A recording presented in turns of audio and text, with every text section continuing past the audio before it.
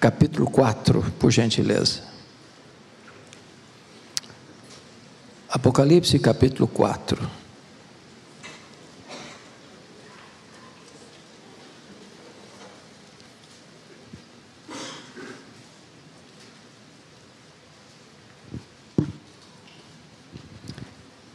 Esse texto diz o seguinte: Depois dessas coisas olhei, e eis não somente uma porta aberta no céu, como também a primeira voz que ouvi, como de trombeta, ao falar comigo, dizendo: Sobe para aqui, e eu te mostrarei o que deve acontecer depois dessas coisas.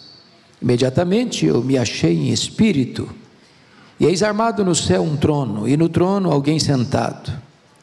E eis que se acha Assentado é semelhante no aspecto à pedra de jaspe e de sardônio, e ao redor do trono um arco-íris, semelhante no aspecto à esmeralda. Ao redor do trono há também vinte e quatro tronos, e assentados neles vinte e quatro anciãos vestidos de branco, em cujas cabeças estão coroas de ouro. Do trono saem relâmpagos, vozes e trovões, e diante do trono ardem sete tochas de fogo, que são os sete Espíritos de Deus. Há diante do trono um como queimar de vidro, semelhante ao cristal, e também no meio do trono e à volta do trono, quatro seres viventes cheios de olhos por, di, por diante e por detrás. O primeiro ser vivente é semelhante a leão, o segundo semelhante a novilho, o terceiro tem o rosto como de homem, e o quarto ser vivente é semelhante à águia quando está voando. E os quatro seres viventes, tendo cada um deles, respectivamente, seis asas, estão cheios de olhos ao redor e por dentro, não tem descanso nem de dia nem de noite, proclamando: Santo, Santo, Santo é o Senhor Deus, o Todo-Poderoso, aquele que era, que é e que há de vir. Quando esses seres viventes derem glória, honra e ação de graças ao que se encontra sentado no trono, ao que vive pelos séculos dos séculos, os vinte e quatro anciãos prostrar-se-ão diante daquele que se encontra sentado no trono, adorarão o que vive pelos séculos dos séculos e depositarão as suas coroas diante do trono, proclamando: Tu és digno, Senhor e Deus nosso, de receber a, a glória, a honra e o poder, porque todas as coisas tu criaste, sim, por causa da tua vontade vieram a existir e foram criadas. Amém? Eu gostaria de meditar com vocês hoje sobre o seguinte tema: Não tenha medo, Deus está no trono. Meus amados, o contexto dessa passagem é que a igreja estava vivendo os seus momentos mais sombrios e amargos. A perseguição à igreja era crudelíssima. Os cristãos estavam sendo crucificados, queimados vivos, jogados às feras, perseguidos com grande crueldade.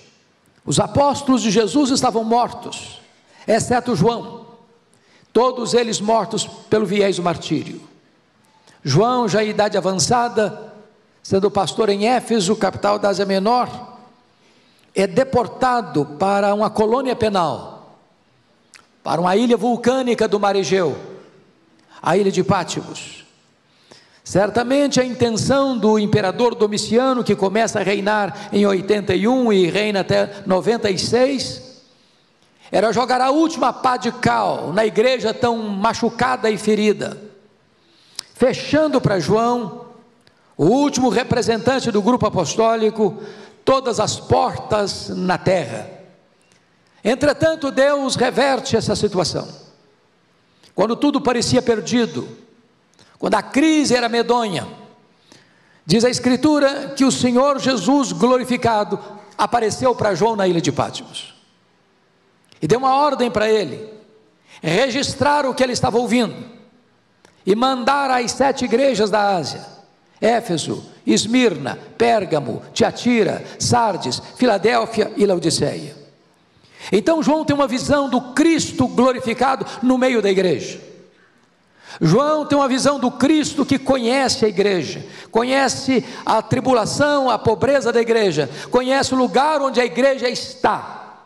Mas agora, nesta nova cena, João não apenas escuta uma voz na terra, agora João vê o céu aberto, uma porta aberta, e agora ele recebe uma convocação: sobe para aqui, e eu te mostrarei as coisas, não que talvez aconteçam, não que podem acontecer, eu te mostrarei as coisas que devem acontecer.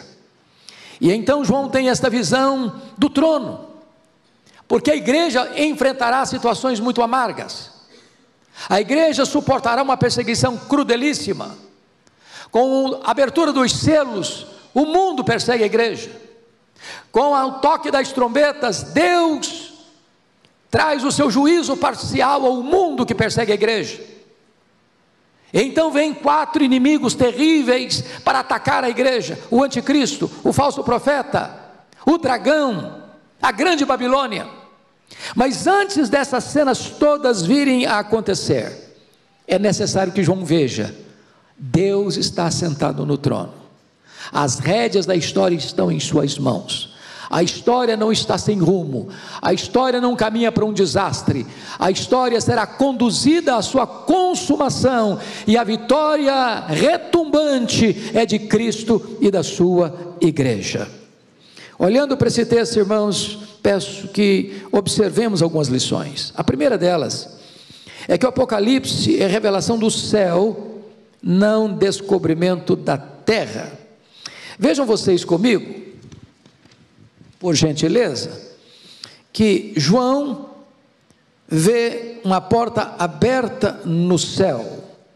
A revelação de Deus, o conhecimento do futuro, não emana da investigação humana, não aparece em virtude de pesquisa ou perquisição humana, não vem por meio de descobertas místicas, o futuro é revelado por Deus.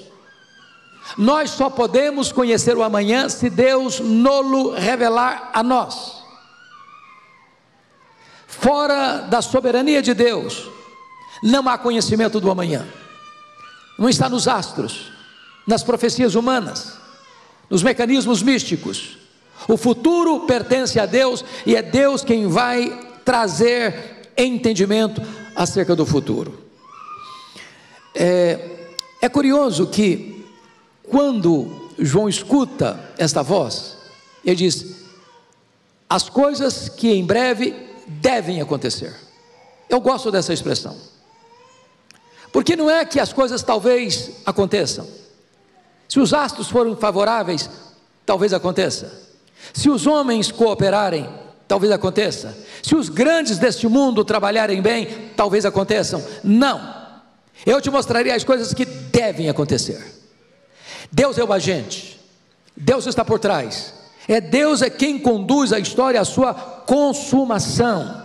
No trono, Deus determina, não há acaso, não há falta de controle, o futuro está nas mãos de Deus. Agora, vejam vocês o segundo ponto que eu quero destacar: é que Deus está sentado no trono do universo. Vejam vocês comigo o verso 2, por favor. João vê um trono no céu. Imediatamente eu me achei em espírito, e eis armado no céu um trono, no trono alguém sentado. É porque ele não podia estar fisicamente, porque com esse corpo nosso vulnerável, frágil, jamais João suportaria a glória de Deus. Esse Deus é luz e habita em luz inacessível. Jamais ele poderia contemplar o que contemplou, a não ser por meio de uma visão. Então ele se acha em espírito. E o que ele vê no céu é um trono. E trono fala de soberania, trono fala de controle, trono fala de governo. O que Apocalipse retrata para nós, irmãos, é que nós cremos no Deus Todo-Poderoso que está no trono, que Ele reina, que Ele governa, que Ele tem o controle, que ele tem a condução da história em suas mãos. Aliás, no Novo Testamento, a palavra trono aparece nada menos do que 67 vezes. Mas só em Apocalipse a palavra trono aparece 47 vezes. Só no texto lido, a palavra trono aparece 12 vezes. A grande ênfase desse capítulo 4 de Apocalipse é que Deus é soberano, é que Ele está sentado no trono e que Ele tem o controle da história, da sua vida, da minha vida, da igreja, nas suas poderosas mãos. Então entendamos isso. O universo, à luz da Bíblia, não é geocêntrico. O universo, à luz da Bíblia, não é heliocêntrico. O universo, à luz da Bíblia, é teocêntrico. Deus está no trono e Ele reina e ele governa. Mas notem ainda comigo, João viu o glorioso Deus assentado no trono. Porque notem, é, ele não descreve Deus, ele diz, no versículo 12: E eis armado no céu um trono, e no trono alguém sentado. E quando ele vai olhar este alguém, ele não ousa descrever o ser de Deus. Ele não ousa fazer isso. Ele precisa usar imagens, figuras que o homem possa entender. Então veja comigo que ele vê Deus no seu esplendor, no seu fulgor, no seu brilho. E ele pega duas pedras preciosas.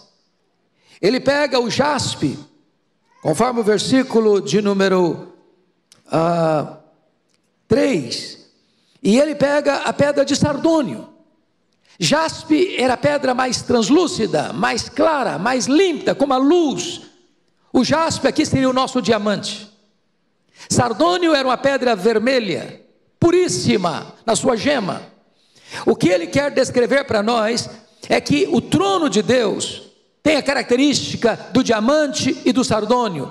Se a pedra branca de jaspe descreve a santidade de Deus, sardônio descreve o juízo de Deus. O que, que ele quer mostrar? É que esse que está sentado no trono é santo e é justo.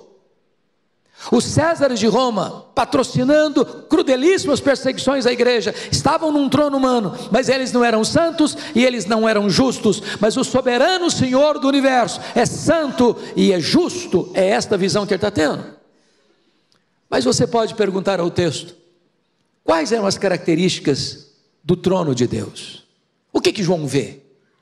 Esse que governa o universo, a igreja, a nossa vida. Primeiramente, confira comigo o versículo 3. Está escrito assim: Esse que se acha sentado no trono é semelhante no aspecto à pedra de jaspe, de sardônio, e ao redor do trono há um arco-íris, semelhante no aspecto à esmeralda. E você vai perceber no versículo 5 que vai sair do trono relâmpagos, vozes e trovões. E aqui há uma inversão da natureza. Inversão da natureza. Quando você vê uma tempestade se formando no horizonte, primeiro você vê relâmpagos, depois você escuta trovões, e então a chuva torrencial desce, e depois que tudo se acalma, que chega a bonança, você olha no horizonte e vê um arco-íris.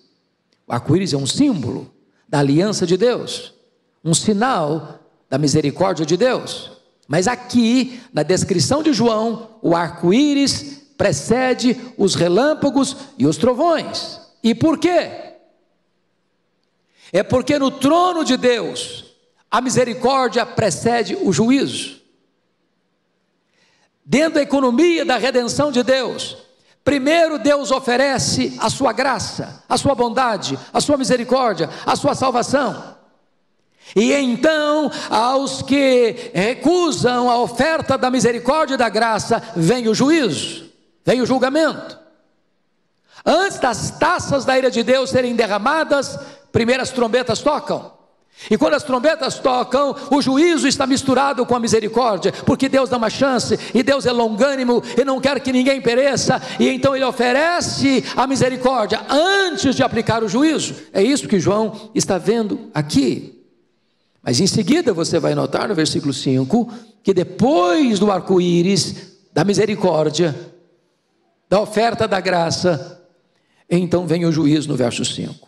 Do trono saem relâmpagos, vozes e trovões, e diante do trono ardem sete tochas de fogo, que são os sete uh, Espíritos ah, de Deus.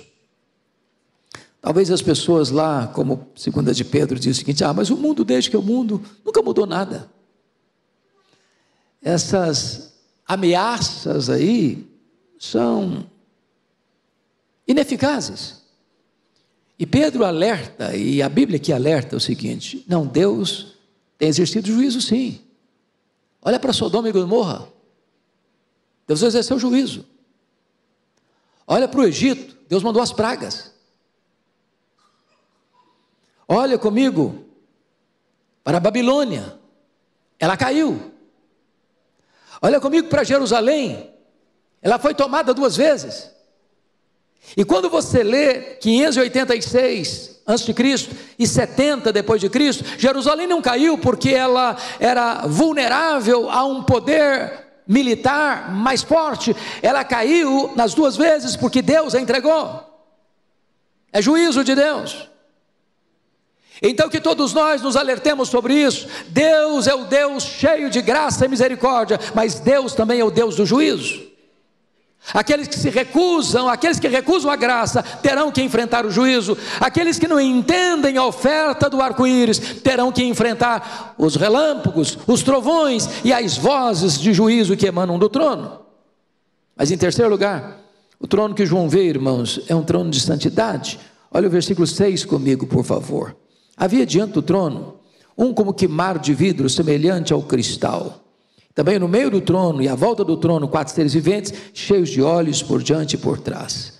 Quando diz que o trono era como um mar de vidro, a ideia é de que diante desse trono, nesse trono, não tem nada escondido, não tem nada debaixo do tapete, não tem nada que seja inconsistente com o caráter deste Deus Santo.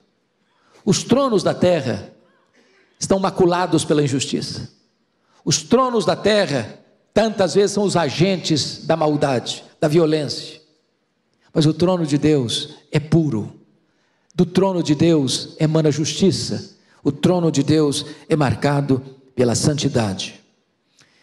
Vejamos um terceiro ponto nesse texto, por gentileza. A igreja glorificada participa do reinado e do julgamento do mundo. Irmãos, é tão importante entender isso. Às vezes você pensa, eu só vou para o céu, vou lá, ver coisas lindas, escutar coisas maravilhosas, mas qual é a sua participação no céu quando você chegar lá?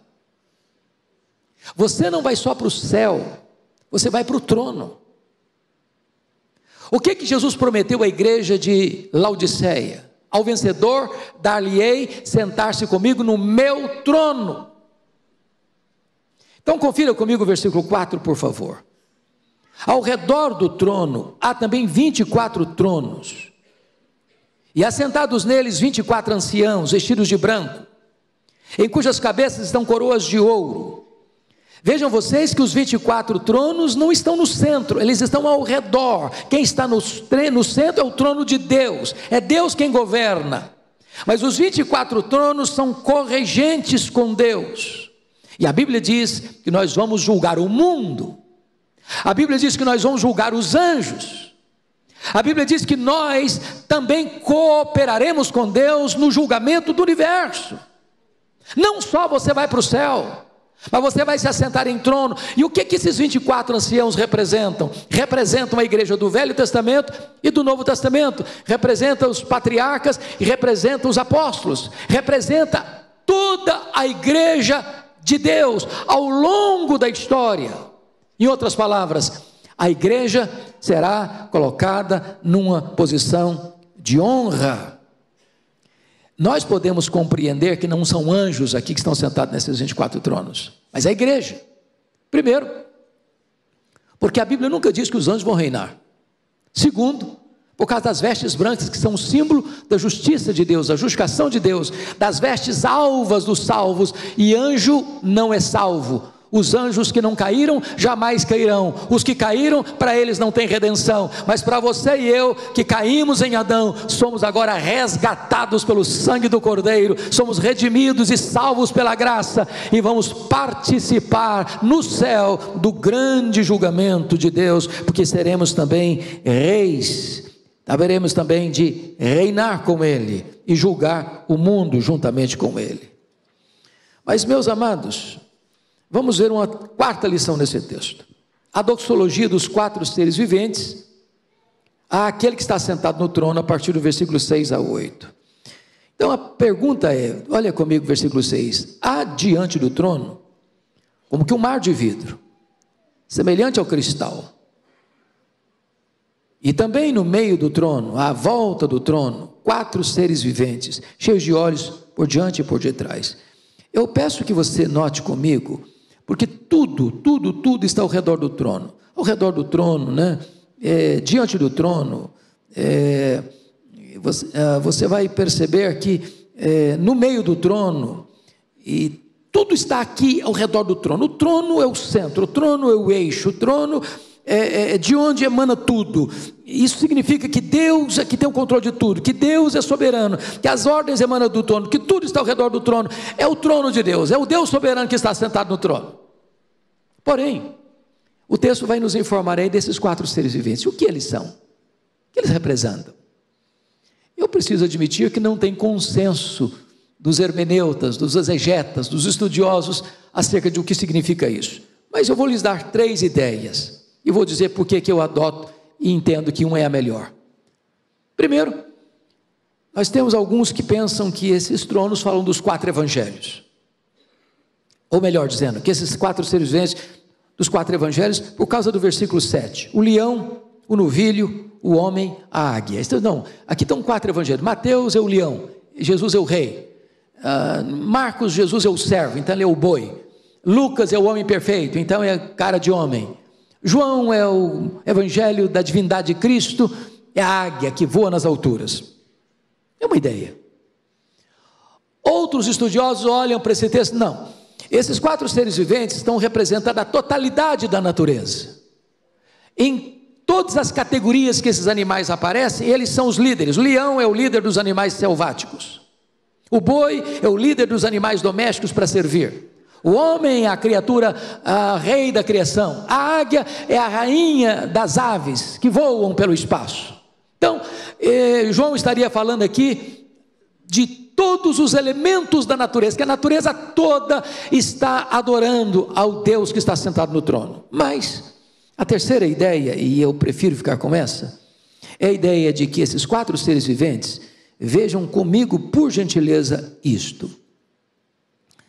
É, versículo 6: Adiante do trono, um como que mar de vidro, semelhante ao cristal, e também no meio do trono e à volta do trono, quatro seres viventes, cheios de olhos por diante e por detrás. Agora veja, versículo 8: E os quatro seres viventes, tendo cada um deles, respectivamente, seis asas, estão cheios de olhos ao redor e por dentro, não tem descanso nem de dia nem de noite, proclamando: Santo, Santo, Santo é o Senhor Deus o Todo-Poderoso, aquele que era, que é e que há de vir.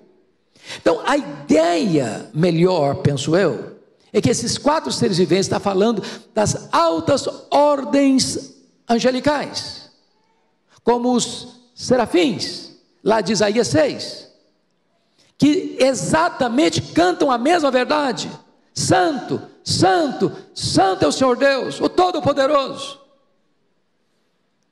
Então, o que é que está acontecendo aqui? Esse que está sentado no trono, que é o nosso Deus, ele é adorado e ele é servido por toda a igreja redimida. E ele é adorado e servido por todas as hostes celestiais.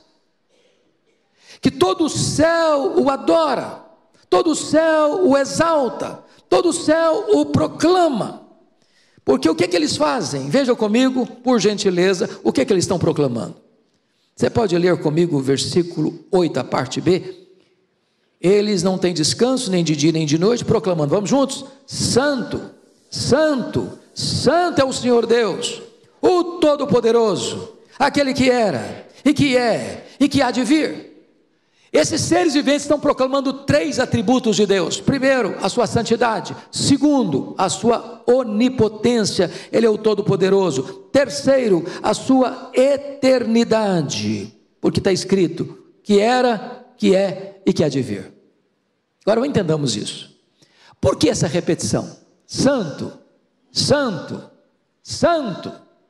Você vai encontrar outros atributos de Deus, mas você nunca vai encontrar essa ênfase: amor, amor, amor, justo, justo, justo, bom, bom, bom, mas você vai encontrar santo, santo, santo, porque a santidade de Deus é o principal atributo que orna todos os atributos de Deus. O amor de Deus é santa, a justiça de Deus é santa, a ira de Deus é santa. Quando você diz santo, você define. Quando você diz santo, santo, você enfatiza. Mas quando você diz santo, santo, santo, você coloca em grau superlativo. Só Deus é totalmente santo. E é isso que os seres viventes estão proclamando a grande santidade de Deus.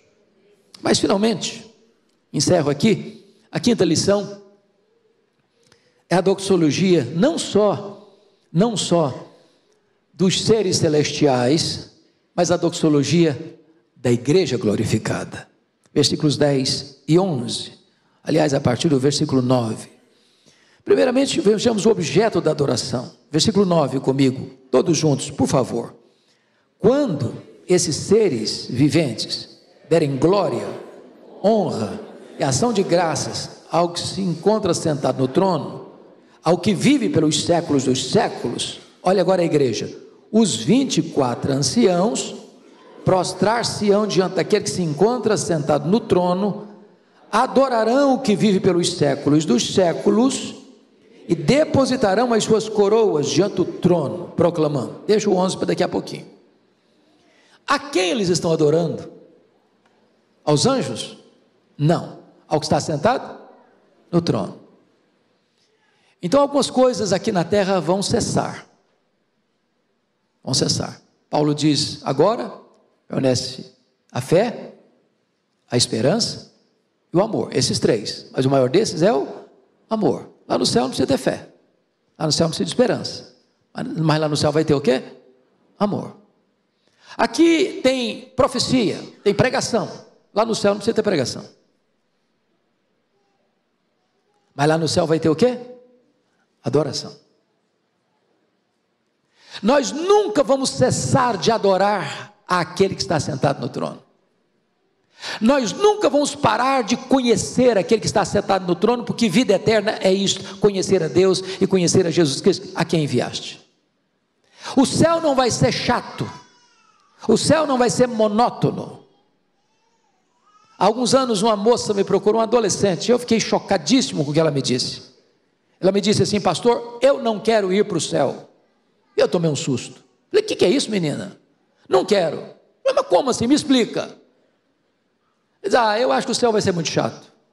Vai ser muito monótono. A ideia que eu tenho de céu é que eu vou estar sentado numa nuvem branca, com a harpa na mão, tocando, cantando, cantando, cantando, cantando. Ah, eu não aguento essa vida inteira, não. Estou cansada já, só de pensar. Não, o céu não vai ser assim, não. O céu é dinâmico. Você vai adorar, você vai trabalhar, os seus servos o servirão. Você vai contemplar a sua face, você vai se deleitar nele, você vai conhecer a ele, você vai fazer a vontade dele, você vai deliberadamente exultar-se nele, fruir a presença dele. Isso nunca vai terminar, porque Deus é inesgotável em seu ser. Você nunca chegará um tempo na eternidade, se eu posso falar em tempo e eternidade, você pode dizer agora já sei tudo, já conheço tudo, não tem novidade mais para mim. O céu é eternamente dinâmico nós vamos servi-lo, nós vamos adorá-lo. Mas notem mais, que no versículo 10, os adoradores vão fazer uma coisa, eles se prostrarão, os 24 anciãos se prostrarão, meus irmãos amados, prestem atenção nisso aqui. Às vezes as pessoas, eu leio alguns livros que as pessoas eh, dizem que tem uma visão da glória de Deus, como um escritor disse que ele estava fazendo barba, pastor Arival, com a navalha no pescoço. E aí teve uma visão do Cristo glorificado, com a navalha na mão. Gente, olha a Bíblia. Toda pessoa que teve uma visão da glória de Deus, qual a posição dela? Ela se prostra, ela se curva, ela é tomada por tamanha reverência diante da majestade de Deus que ela, ela não se aguenta. Diz a Bíblia lá em Apocalipse capítulo 1, 1, 1 que João, quando viu o Cristo da glória, que é como morto aos seus pés. Quando Isaías viu a santidade de Deus, diz: Ai de mim, Senhor. Quando Paulo teve a compreensão da grandeza de Deus, diz: Desesperado homem que eu sou, quem me livrará do corpo desta morte? Mas agora, mesmo a igreja glorificada, mesmo a igreja aperfeiçoada, mesmo a igreja vivendo em corpos imortais, incorruptíveis, poderosos, gloriosos, espirituais, celestiais, semelhantes ao corpo da glória do Senhor Jesus, quando eles estão diante daquele que está no trono, eles se prostram.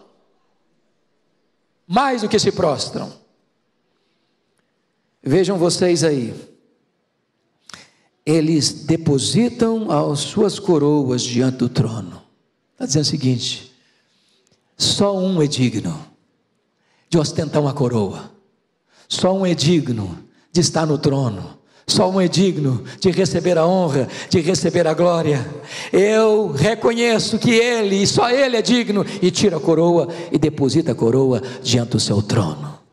Não tem qualquer naipe, vesga de arrogância, de soberba, de autojustiça tudo vem dele, tudo é por meio dele e tudo é para ele. E o texto conclui com as palavras da adoração, não apenas com o objeto da adoração que é Deus, não apenas com os atos da adoração que é prostrar e depositar as coroas, mas vem agora as palavras de adoração no versículo 11, e eu peço que você em voz uníssona leia comigo ficando de pé o versículo 11, toda a igreja. Toda a igreja, vamos juntos. Tu és digno, Senhor e Deus nosso, de receber a glória, a honra e o poder, porque todas as coisas tu criaste, sim, por causa da tua vontade, vieram a existir e foram criadas Aquele a quem adoramos é digno, aquele a quem adoramos é o Criador do universo, aquele a quem adoramos é o soberano, e o Criador vai pegar a história e conduzi-la a uma consumação, e nesta consumação, você e eu, povo de Deus, igreja do Deus vivo, somos mais do que vencedores em Cristo Jesus. Você não precisa ter medo do amanhã, você não precisa ter medo do futuro, porque o seu Deus, o nosso Deus, está no trono e ele reina. Amém.